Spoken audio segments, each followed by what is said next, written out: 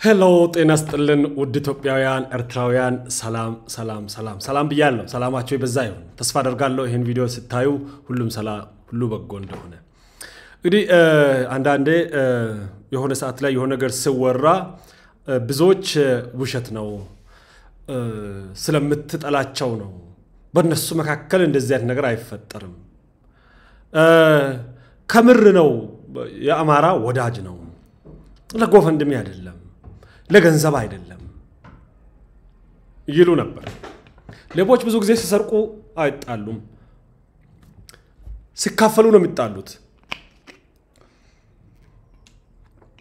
እነዚህ ሰዎች የምር ተጣልተዋል፣ ግን ደግሞ ተከባብረው ነው ያሉት። አምልጦ ነው የዛሬ የወጣው፣ አምልጦ ነው የወጣው። ይሄ ማቀርብላችሁ የወጣው አምልጦ ነው።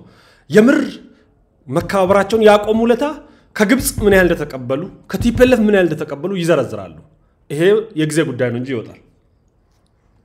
በአንድ ወቅት አብረው የኤርሚያስን ሱሪ የሚያስታጥቀው ሀብታሙ ነበር። I think የማይጋሩት የውስጥ ልብስ ጭምር የሚቀያየሩ ነበሩ። በቃ አንዳንድ ሰው ለመጋፈፍ እስኪቀራቸው ነበረ ፍቅራቸው የሚመስለው። አይደለም፣ ውሸት ነው። ፍቅር የላቸውም። የያዛቸው የጋራ ጥላቻ እንጂ የጋራ ግብ አይደለም። የገንዘብ ንዋይ ፍቅር እዛ ተነድፈው ሀገርና ሕልና ሆድ በልጦባቸው ሕልናና ሀገርን የሚሸጡ ባንዳዎች ባዳ ጠላቶች እንጂ የሚከባበር ስብዕናም የላቸውም ብለን ነበር። አንድ ሰው ሀገሩን ከጠላ ራሱንም አይወድም፣ እንኳን ሌላ ሰው። አቅፈው የሚተኙትን ምስቶቻቸውን አይወዷቸውም። ለልጆቻቸው ያለ ፍቅርም የውሸት ነው።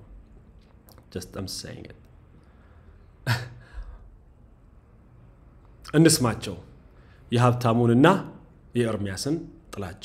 እኔ ባለኝ መረጃ ከዚህ በላይ እንዳያወሩ መካከላቸው ሽማግሌ ገብቷል። ሁለቱም ይጎዳዳሉ ካወሩ። ይሄ ቪዲዮ እንትን ካለ በኋላ በጣም ትልቅ የሚባል ሰው ነው ያስታረቃቸው። ያስታረቃቸው አይደለም ማስታረቅ ሳይሆን ተው በቃ። ምንን ያነሳ ምንድን ነው የሚባለው? ስጻፉልኝ። ምንን ያነሳ ምንድን ነው የሚባለው? በቃ ተዳፍኖ ይቅር ነው። እኔ ደግሞ አይመስለኝም ለጊዜው ይዳፈንና ጭስ መውጣቱ አይቀርም። የተዳፈነ ነገር መፈንቀሉ አይቀርም። ዛሬ ተደፋፍኗል። ለጋራ ጥቅም ስሉ ኤርሚያስ ሀብታሙን ስለወደደ ስላከበር አይደለም። ሀብታሙ ጋር የእሱ ብዙ ስስብሊቶች ስላሉት ነው። ሀብታሙ ለኤርሚያስ ጥላቻ እና ንቀትን ችክ ክብር የሚባል እንጥፍጣፍ የለውም። እንደውም ኤርሚያስ ተወሰነ ሀብታሙን ይፈራል። ኤርሚያስ በጣም ፈሪ ነገር ነው። እውነት ለመናገር እኔ ምን አጥፍቶ እንደወጣ አላውቅም። ፈሪ ነገር ነው። ሀብታሙ በጣም በጣም ይጥለዋል፣ ይጠለዋል፣ ይንቀዋል። ግን ደግሞ ኤርሚያስ ጋም ቀላል የማይባል ምስጢሮች አሉት። የሀብታሙ ሰው ያላቸው ብቸኛ አማራጭ ለጊዜው መከባበር ነው። ትንሽ የሚያሳስባቸው ነገር ሁለቱንም በሌላ በኩልም ቢወጣ አንዳቸው አንዳቸው መጠርጠራቸው አይቀርም። ምስጢሩ ቢወጣ ይሄን እንዴት የ manage ያደርጋሉ? whenever ነው። እኔ ያለኝ ግምት ግን ብዙ መረጃዎች ከጊዜ በኋላ ይወጣሉ ብዬ ተስፋ አረጋለሁ። ይህንስ ባለፈው የዛሬ ዓመት ዛሬ ዓመት ስናወራ የሚያምን ሰው አልነበረም። ዛሬ ግን ራሳቸው አውጥተው አየር ላይ አውለውታል። እስቲ ይህንን አጭር ቪዲዮ አብረን እንስማ። ሽንጣቸውን ወገባቸውን አስረው ጎዳና ታግለዋል። TPLF ተሰባብሮ ከቤተ መንግስት እንዲወጣ ደርዘን መጽሐፍ ጽፈው ምናምን አድርገው ታግለዋል። ብዙዎች የታገሉት TPLF ተሰባብሮ እንዲወጣ ነው። ኦነግ ከገባ በኋላ ግን እሱ እንዳይወጣ ጠበቃ መሆን ያስፈልጋል። ስለዚህ አሁን አማራ አያስፈልግም። GoFundMe ለመሰብሰብ TPLF ን ከቤተ መንግስት ለማስወጣት የአማራ alliance ያስፈልግ ነበር። ስለዚህ አማራው ተራራው ብለህ አንድ የአማራ ልዩ ኃይል ከአንድ ሺህ የኦሮሞ ልዩ ኃይል ይበልጣል እያልክ አቤት ጀግና ተብለህ GoFundMe ኪስ ማራቆት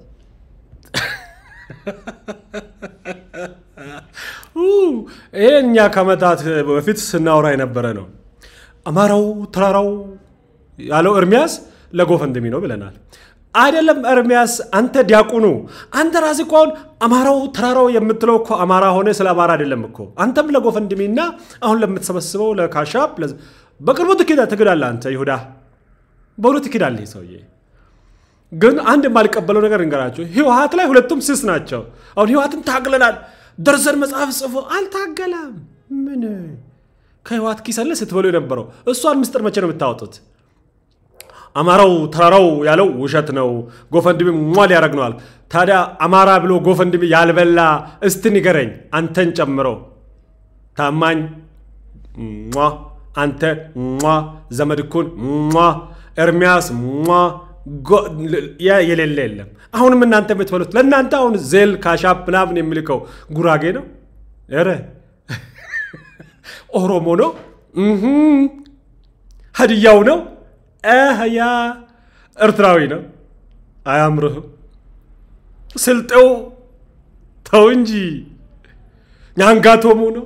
ሶማሌ ወይስ አፋር? የጉሙዝ ሰው ይሁን ወይስ የጋምቤላ? ማን ነው በዜል በካሻፕ በጎፈንድሚ አንተ የምትቀፈቅፈው? ያው ነው እኮ የአማራ ዲያስፖራ ነው እኮ ነው። አማራው ተራራው ይትላል። አንተም እኮ እሱ ኦሮሞ ስለሆነ ነው አሁን የገፋኸው። GoFundMe መቶ ምናምን ሺህ እስከሚያገኝ አንድ የአማራ ልዩ ኃይል መቶ የኦሮሞን ልዩ ኃይል ይበልጠዋል። ያኔ የስ እርሚ ባለከባድ ሚዛኑ እርሚ ጀግናው ከኦሮሞ የተገኘ ምርጡ የምርጦች ምርጥ ኢትዮጵያዊ ስትል ነበር። ዛሬሳ እኔ ከኤርሚያስ የበለጠ አንተ እየጎዳን። ኤርሚያስ እንኳን ያዘውን ይዞ ወጥቷል። ሌሎቹም የያዙትን ይዘው ወጥተዋል። አንተ ግን መች ነው የምትወጣው? ዘመድኩን ግን መች ነው የሚወጣው? ቄሶች፣ ካህናት ለብሳችሁ የምትመጡ መች ነው የምትወጡት? አንተም አንገት ላይ ክር ታሳያለህ፣ ከፈት ታደርጋለህ። ደግሞ እኮ ክሯ እንድታይ ነው። እሱ ደግሞ ወዳጅ ደግሞ በዚህ ቅቅ አድርጎ ለብሶ መስቀሉን እንደምንም እዚህ ጋር ያወጣል። ድደ ፉገራችሁ እኮ ራሱ እኮ ነው የሚገርመው።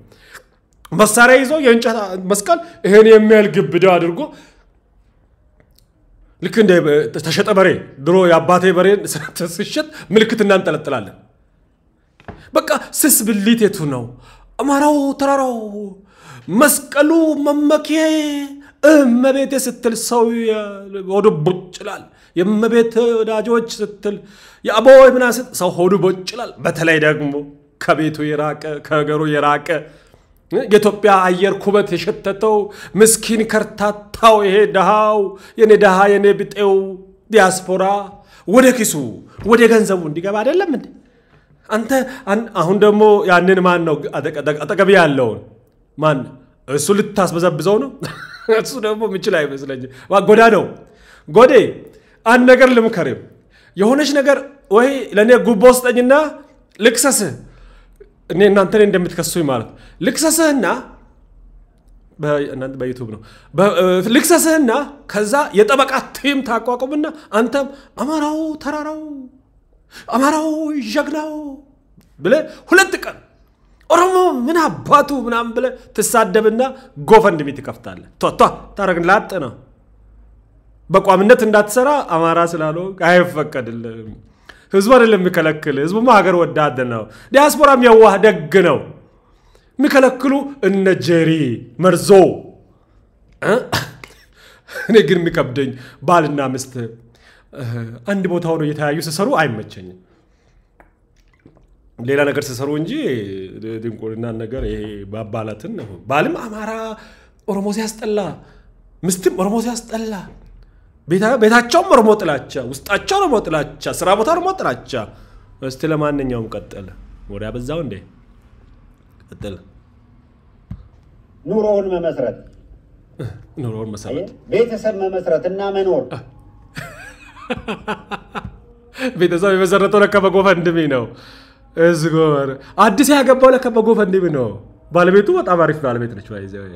I think ጀግናም ሳትሆን አትቀርም። ስትከላከል አይቻልም። ፌስቡክ ላይ fight ስታደርገው አይቻለሁ።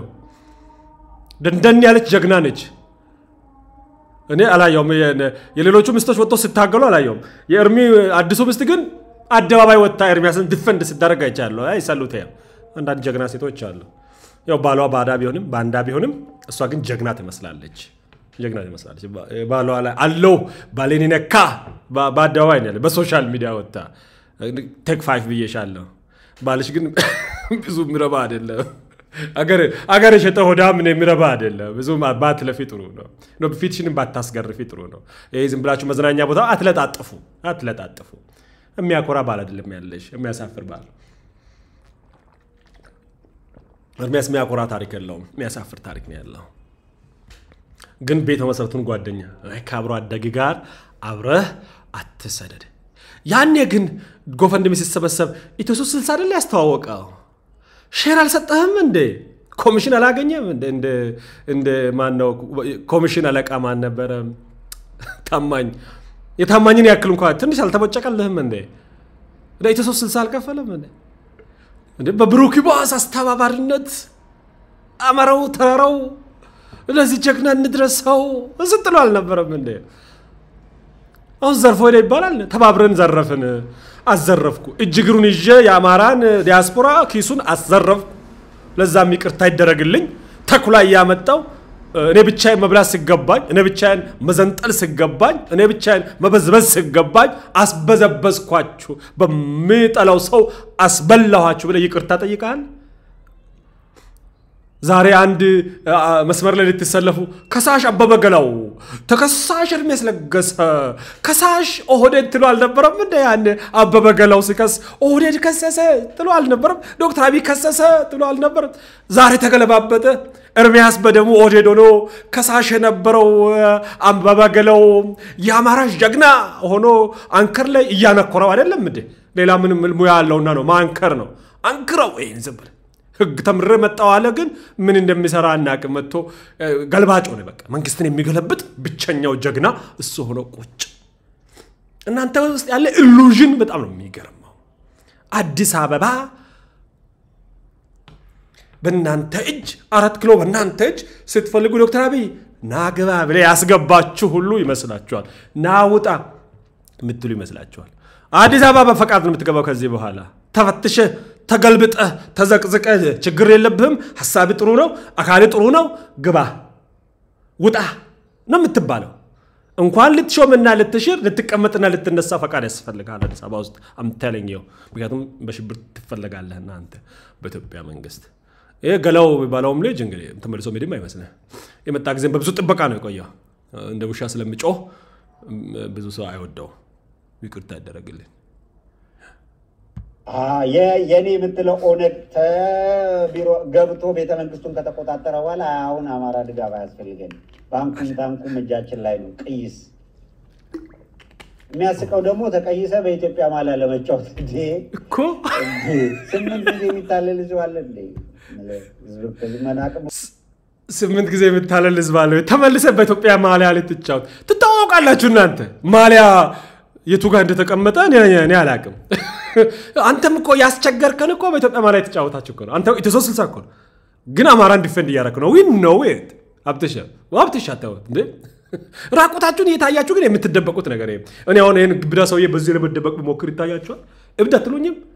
የፖለቲካ እብዶች ናቸው እነዚህ የፖለቲካ እብዶች የፖለቲካ ደግሞ እሱን ቆርጣችሁ ክሰሱኛል። የፖለቲካ እብዶች ይባላል። ይህ አካላዊ እብደት አይደለም። አካላዊ ቢሆኑ አይለብሱም፣ እንትን ክር አያደርጉም።